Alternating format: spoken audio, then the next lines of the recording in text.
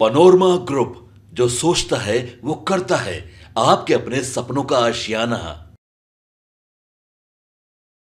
नमस्कार, भारत लाइव पे आप सभी का बहुत बहुत स्वागत है। रुपौली से एक बार फिर विधानसभा का चुनाव लड़ने की तैयारी में बीमा भारती इस वक्त लगी हुई हैं कि रुपौली में उनको टिकट मिल जाए। इसके साथ ही साथ आपको बता दें कि जिस तरीके से बीमा भारती ने लोकसभा 2024 का चुनाव लड़ा था, इस चुनाव में उनको करारी हार मिली है।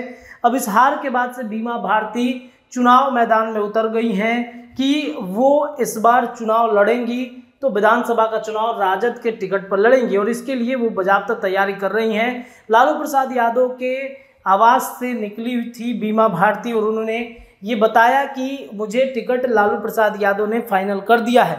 लेकिन इधर जैसे ही टिकट फाइनल होने की बात आती है, बीमा भारती के घर पर उनके बेटे को गिरफ़्तार करने के लिए पुलिस पहुँच जाती है, जो स्क्रीन पे आपकी तस्वीरें आप देख पा रहे होंगे। बीमा भारती के घर पे पुलिस जो है वो पहुँच गई है और बीमा भारती काफ़ी भड़क गई है। बीमा भारती का कहना है कि बिना महिला पुलिस के हमारे घर पर कैसे बिहार पुलिस की टीम पहुँची है और जिस वजह से वो काफ़ी नाराज़ हैं। इसके साथ ही साथ उन्होंने काफ़ी हंगामा भी वहाँ पर खड़ा कर दिया।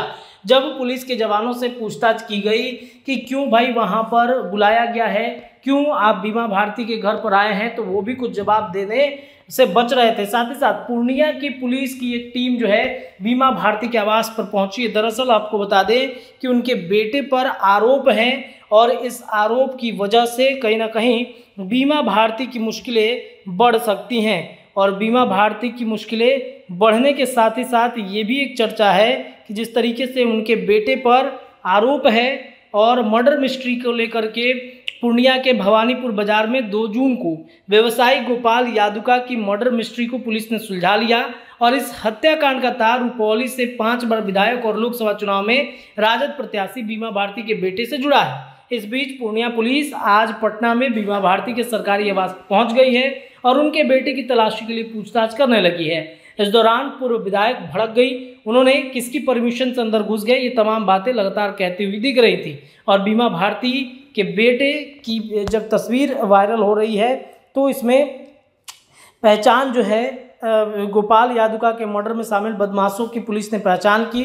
इसमें बिकोठी थाना क्षेत्र के भत्सारा गाँव निवासी अनिरुद्ध यादव का बेटा ब्रजेश यादव और भवानीपुर के राजीव यादव का बेटा विकास यादव संजय यादव विशाल राय भी शामिल है। और उसके साथ ही साथ आपको ये बताते चले कि बीमा भारती के बेटे का भी नाम सामने आया है। जब सवाल किया गया पुलिस वालों से तो जवाब सुनिए क्या कुछ कहते नज़र आ रहे हैं। पनोरमा ग्रुप जो सोचता है वो करता है। अगर ये वीडियो पसंद आई और वह बिहार के राजनीति और बिहारियत से सरोकार रखेनी तो सब्सक्राइब बटन दबा के चैनल के सब्सक्राइब कर ली। ओजे एगो घंटी बा।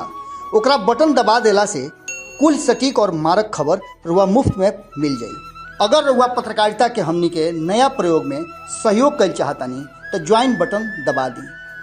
पेटीएम नंबर नोट कर ली nine three eight six eight one six seven double zero. धन्यवाद।